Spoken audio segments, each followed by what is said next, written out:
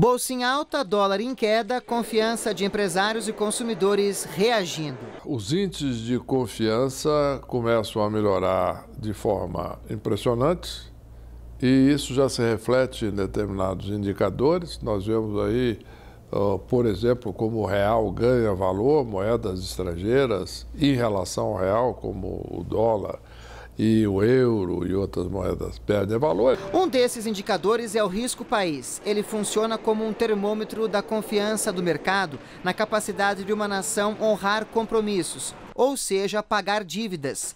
O risco do Brasil caiu mais de 26% desde maio, quando foi anunciada a proposta de limitar os gastos públicos. Quanto maior for a gestão das finanças públicas, ou quanto melhor for essa, essa gestão, menor será o, o risco país. Então, é claro que se você tem uma economia sob controle, automaticamente o risco país vai, vai continuar caindo. Para 2017, todas as áreas do governo federal só poderão aumentar os gastos pela inflação oficial prevista para este ano, que é de 7,2%. Nos anos seguintes, os limites serão corrigidos pela inflação acumulada em 12 meses até junho do ano anterior.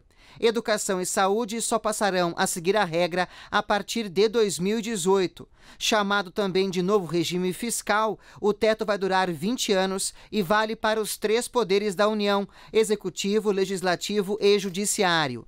Apenas a partir do décimo ano, a regra poderá ser alterada pelo presidente da República, mas isso apenas uma vez em cada mandato. A expectativa de inflação caiu já o cenário do mercado é de trajetória de queda da inflação para o centro da meta nos próximos anos.